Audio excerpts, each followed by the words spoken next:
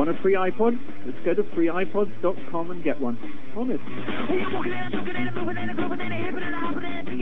It seems like a scam and looks like a scam. One of the hottest accessories being given away for nothing.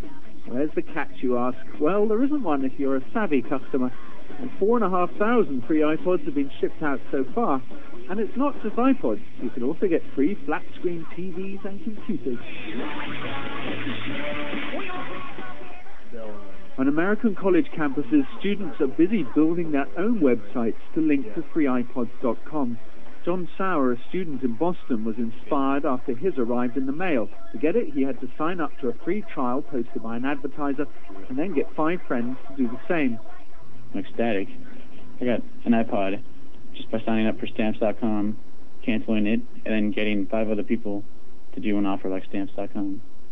He and his roommate Matt built their own site to show others how to do the same. Every time someone clicks from their site to freeipods.com, it counts as one of the five referrals.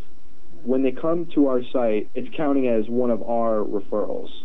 And so you need five referrals for freeipods.com, and you need eight for freeflatscreens.com to get your free iPod or free flat screen. The purpose of freeipods.com is to get eyeballs looking at adverts companies are willing to bribe customers just to try out their products listed here. It's a sign of how desperate marketers have become to get new customers that you don't actually need to buy anything on this site. All you need to do to get your free iPod is simply to sign up to a free trial. And there's some pretty reputable companies here. Here is a one-month free trial to Blockbuster, BMG Music. Down here there's a one-month free trial to Netscape, New York Times. In the past, these companies would have made money simply because people would have forgotten to cancel their subscriptions.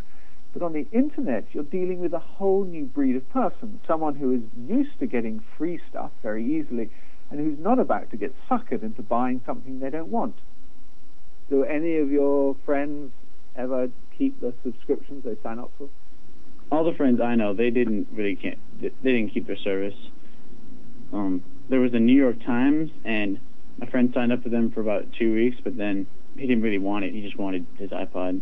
I did stamps.com back in early early June, and I stayed with them for well, I, I, it was a month free trial, and I stayed with them maybe three weeks, and then I canceled, and it was easy. So can the economics of this possibly work? The customer gets a free iPod worth $300. In return, the website has six people signed up to free trials. That's $50 each.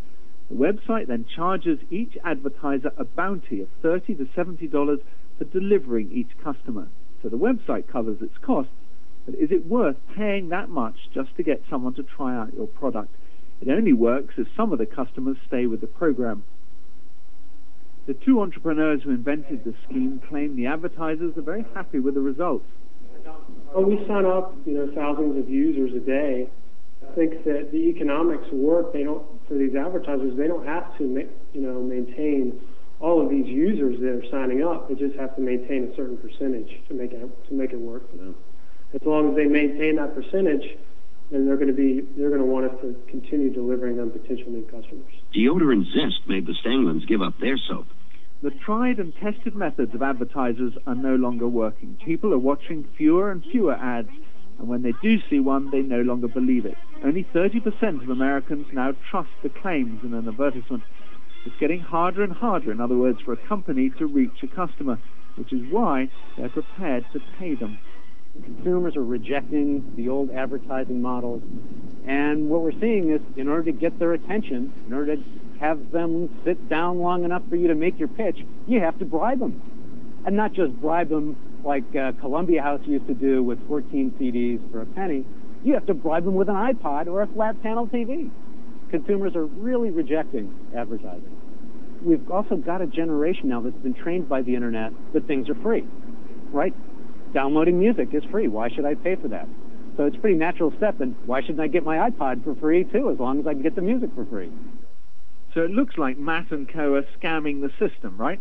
Well, maybe not, because actually these student sites are pushing many more referrals than the five needed for each iPod, and every additional referral is an extra customer for the advertisers. One of our friends actually had 52 referrals completed. So that helps iPods.com. Yeah. whether you get five referrals or whether you get 52 referrals, you're getting one iPod. So the fact that more are going through, it only helps free iPods. So instead of shelling out cash on TV ads that no one believes, the company is paying a customer to actually test drive its product.